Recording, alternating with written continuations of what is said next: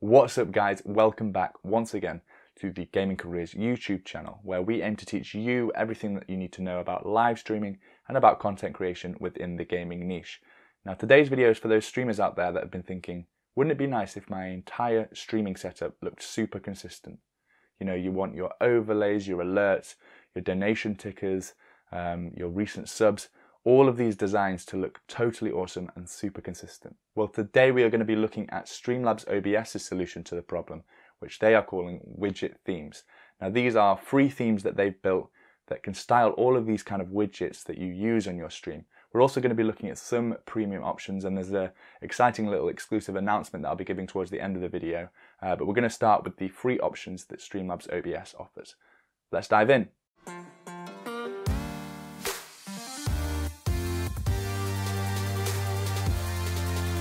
So Streamlabs announced this feature in one of their updates a couple of weeks ago. And if you go across to the library tab and click widget themes, you can see as of right now they've added about 25 free widget themes to get us started. They have mentioned that they are promising over 500 of these widget themes are going to be added over the coming months. So even if none of these widget themes take your fancy right now, it's still worth learning exactly how to add and customize them because in the future maybe they will add a widget theme that you quite like. As you can see here, they have added various different styles, many of which have taken inspiration from a certain game. If you click into one of the widget themes, you get taken to a listing page which shows lots of different screenshots on how each of the widgets look, as well as a list showing which of the Streamlabs widgets are supported by that theme. Personally, I like the design of this one, which is called Vivid IRL, and I'm just going to quickly look first to see if there is an overlay theme with the same name, since I want everything, uh, including my stream starting soon scene, and my Be Right Back scene to look super consistent. As you can see, Streamlabs have got a overlay called Vivid IRL. It's fairly simple, but it's exactly what I'm looking for, and it's going to integrate nicely when I eventually add the widget theme of the same name. So I'm going to install that, and once it has installed, you can see that it has some fields here to display my Twitter, Instagram, and YouTube. So I'm just going to quickly edit these so that you can get a rough idea of how my stream might look using this overlay. Since I don't have an Instagram for gaming careers, I think I'll just rename this one Patreon and put my Patreon username in here instead. The last thing I'll do before installing the widget theme is just swap over to the live scene and replace this default background image with something that looks a little bit more like a game, although of course this is where you would actually be replacing this with your game capture or window capture. And I'll also just add a webcam still image up here so that you can get a good representation of how this design might look when we stream. Okay, so this is looking pretty good, but now it's time to add the real bits of magic, which are the widgets.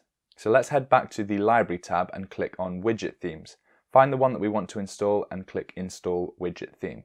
This will then add the widget theme to your currently selected scene collection. Now by default, every widget that the theme supports is added to your scene, which may look like it's too many, but it's of course super easy to remove the ones that you want to remove. So let's look at what has been added. Right up here at the top, we have the Stream Boss widget. Now, this is a widget, for those of you that don't know, that allows your viewers to seize the opportunity to become a boss in your channel by interacting with your stream. This is a source that I personally don't really want to display on my stream, so all I have to do is either hide it by coming over here to the sources window and clicking the little eye icon next to the Stream Boss source, or I can remove it completely by selecting the source, right clicking it and selecting remove. It's worth me quickly mentioning here that some of these sources might display a little strangely. Most commonly the uh, Stream Boss one and the Donation Goal one.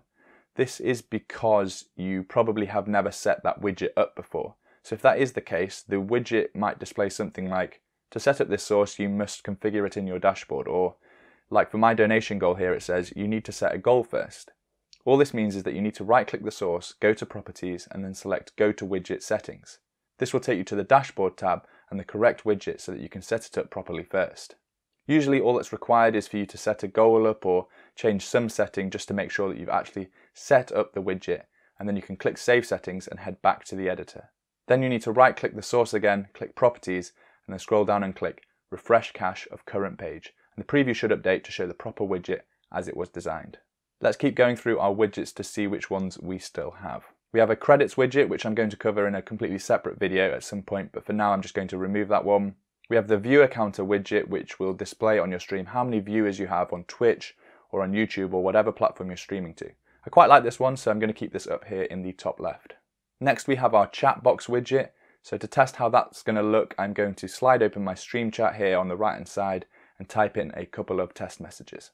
Now I do like the design here, but I'm going to make a couple of changes just of the functionality. First of all, I'm going to resize it a little bit just to make it a tiny bit bigger and move it over so it is aligned with the right hand side of my screen. The second change that I'm going to make is that I don't want the messages to stay on screen forever. I'd like them to fade out after a certain number of seconds so that it doesn't look so stale. To do this, I just right click the source again, click Properties, and click Go to Widget Settings. Here in the widget settings for the chat box, I want to uncheck the Always Show Messages box and set the slider to hide the messages after 5 seconds.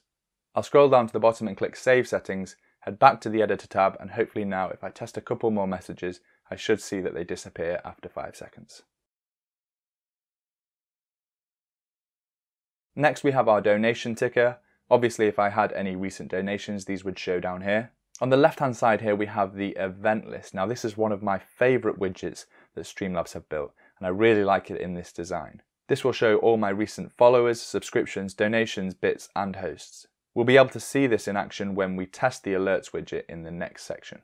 Finally, we have our donation goal, which you saw me set up earlier, and our alert box, which we will see in action now. So to test how our alerts will show, we come down here and click Test Widgets, and we are given all the different types of actions that your viewers can take to support you.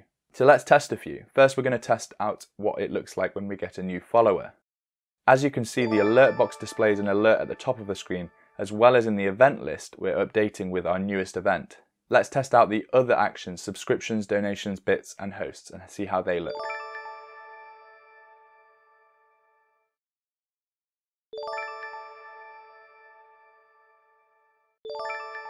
Now hopefully you can appreciate how easy that was to set up and how quickly you can get, you know, a pretty professional looking stream design uh, that's all coherent with each other, um, all set up within Streamlabs OBS. Of course, the main disadvantage with the free overlays and the free widget designs that come included with Streamlabs OBS is that they aren't that customizable and they are super, super popular. So there's probably a hundred other streams that have the exact same stream design as you on Twitch or on YouTube. There's a massively emerging market within streaming and on the internet of companies that want to provide um, professional stream alerts and stream overlays, um, things that you pay for and you can download and then you can implement yourself into OBS or Streamlabs OBS to get a really professional looking stream. And over the last year that I've ran the Gaming Careers channel, lots of these companies have reached out to me and asked me to uh, do some sponsored content, talk about their products to you guys, and hopefully promote them but I've turned them all down because personally I don't think that I would use them and I always want to be super transparent and super honest about the products that I promote to you guys and the companies and brands that I work with. I really want them to be companies that I myself have used before and I would definitely recommend using without any sort of financial incentive. So over the past year or so that I've been running the Gaming Careers YouTube channel, I've had many of you, the Gaming Careers community, reach out to me on YouTube and Twitter and Discord and email asking where I get my overlays from, where I get my alerts from, and where I'd recommend somebody that wanted to get a more professional looking stream to get these sort of designs from.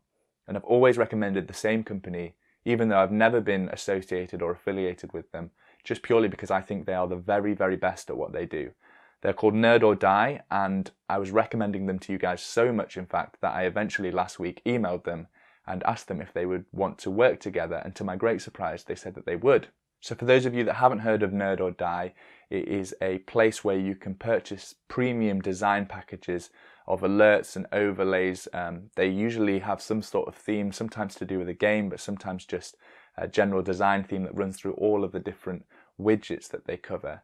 They've done some uh, completely custom designs for some really big streamers, people like Man vs. Game, JoshOG, and Sodapoppin. Uh, they've all had their designs done by Nerd or Die, and I said it before, but I'll say it again. I really do think they are the best place to purchase these things on the internet. Their store allows you to purchase either the complete full package of all the different elements that you could possibly need to upgrade your stream, or you can, of course, just purchase the individual elements like the alerts or just the overlays. Now, the exciting news is that if you use the custom link that I've included in the description below this video, and then you use the coupon code Gaming Careers when you get to checkout, you'll get a further 10% off the already discounted prices. So go and click the link down below in the description and head over to Nerd or Die and check out all the different designs and all the different packages they offer and grab yourself a discounted price whilst you're at it. I just want to reiterate that I'm only recommending Nerd or Die because I use them myself so much and remember that I reached out to them because I was recommending them to you guys so much anyway. I'm super proud to be working with them and that has allowed me to get you guys a discount on their products. So I hope you appreciate my transparency in working with them and that you can go and check out their products if you'd like to. If you do purchase one of their products, the downloads all come with a super easy to follow instructions file, as well as some video examples of how you can add and customize these overlays into OBS and Streamlabs OBS. Hopefully you guys have found this video helpful and you either have, you know, one of Streamlabs OBS's free uh, widget themes installed, or maybe you've purchased one of the premium options from Nerd or Die. Either way, I'd love for you guys to send me a screenshot or maybe a quick Twitch clip of how your new stream design is looking and tweet it at me at Gaming Careers. I'll be retweeting some of my favorites. Finally, as always, I would like to give a massive thanks to my patrons.